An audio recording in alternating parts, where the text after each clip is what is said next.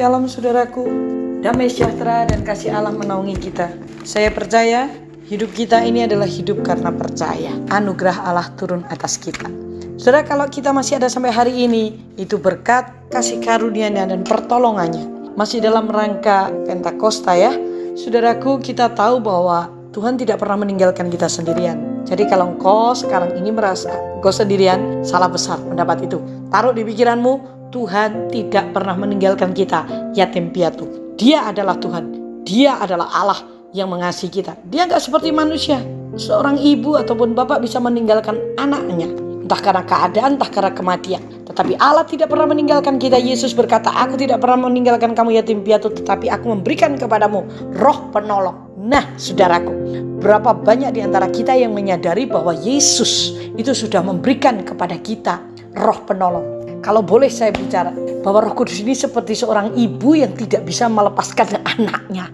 Kalau ibu di dunia sih masih bisa melepaskan anaknya. Tetapi Roh Kudus ini diberikan kepada kita untuk menolong kita, untuk menghibur kita, untuk menguatkan kita. Bahkan untuk membuat saudara dan saya sadar akan kesalahan, akan dosa kita. Itu Roh Kudus, itu pekerjaan Roh Kudus. Dia penghibur, dia kekuatan kita. Jadi sebenarnya yang melakukan mujizat saat kita berdoa yang sedang bekerja, pengurapan Allah turun, mujizat terjadi, kepuasan, damai sejahtera. Itu Roh Kudus yang mengerjakannya, Rohnya Tuhan yang ada sekarang ini. Saudara, itulah sebabnya saya ingin mengajak saudara dan saya untuk bercakap-cakap dengan Roh Kudus. Dan dikatakan kitab Efesus, janganlah kamu mendukakan Roh Kudus Allah yang sudah diberikan kepada kita sebagai jaminan metre pada akhir zaman. Jangan mendukakan roh kudus Allah yang ada pada kita.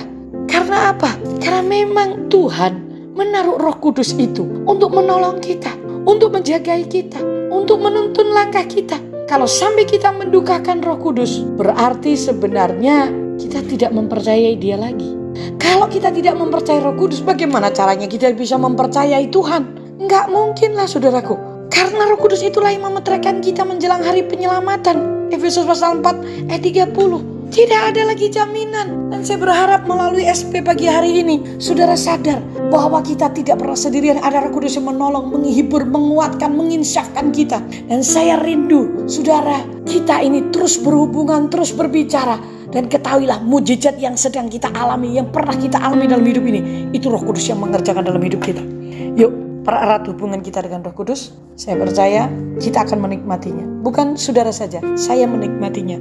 Karena pertolongan Roh Kudus itu, dia selalu ada setiap saat, 24 jam sehari, 7 hari dalam satu minggu. Dan dia ada 365 hari untuk hidup kita. Selama-lamanya dia ada menyertai kita. Please, ajak dia bicara, senangkan hatinya. Jangan dukakan dia dengan segala kepahitan, kemarahan, pertikaian, fitnah, kegeraman, itu hal-hal yang membuat Roh Kudus berduka.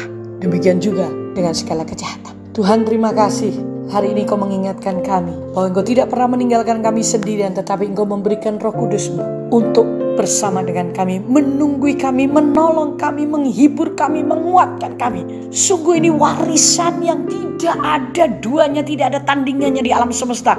Baik di alam semesta maupun di surga. Karena rohmu sendiri yang bersama dengan kami.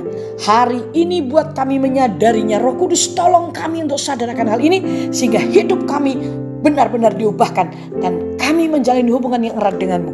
Di dalam nama Yesus, kekuatan surga turun atas kami. Amin. Sampai berjumpa. Tuhan memberkati.